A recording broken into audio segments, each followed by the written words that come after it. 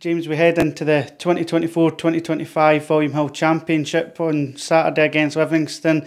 It'll be another tough division this season, but we'll be hoping to get off to a good start and, and carry that form on going forward.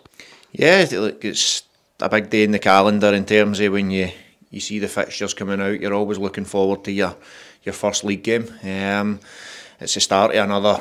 It'll be a roller coaster all season. This league for every team, every manager, all the players, and in every dressing room will be will be getting ready and geared up for a, another tough tough campaign. But it's, it's match day one. We're we're looking forward to it. We're want to go down there and, and get a positive result and, and bring it back up here.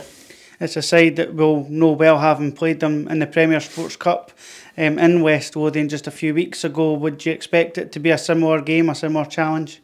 Certainly, challenge wise, it will be. Um, they're a decent team. They're obviously they're the team that come down for the Premiership. There's a lot of change within their squad, but that game was tough. It's a at the minute it's a tough pitch to go and play on as well, when particularly when it's dry.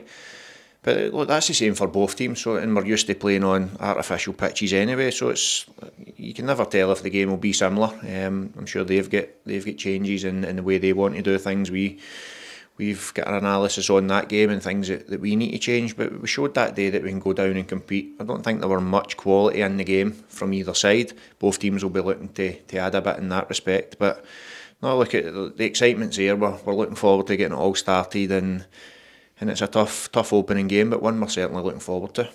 In terms of availability for the squad, Lewis Briggs will come on to the to the bench and, and be involved in the matchday squad for the first time. What's your thoughts on his inclusion?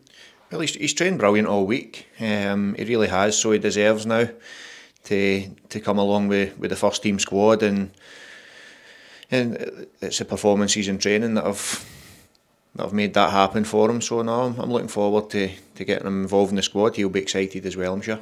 And general fitness wise, how are we looking in terms of guys like Sam Fisher who went off last week? Yeah, Sam will be fine. He's he's back training and we caught it at the at the right time. Um, so credit to the medical staff and Sam for that because like we had says to the players if there is anything, particularly certain ones that, that we knew may have been carrying little niggles or had had played a lot over the pre-season period. So we got it early enough. Sam will be fine. The only, I think the only two, Chris Kane was touch and go all week. He, he was training today, but just with the fact that we had the option, do we do we risk him to make the bench tomorrow, or do we get another another seven days into into him for, for next week? So we'll do that. We'll get Kano back in the training pitch next week, and Matthew is obviously the other one. Um, he's now out his sling. Uh, and it's good to see him back doing doing ordinary things now. He can tie his own laces and cut his food, so he's, he's, he's very chuffed about that. But apart from that, that's all.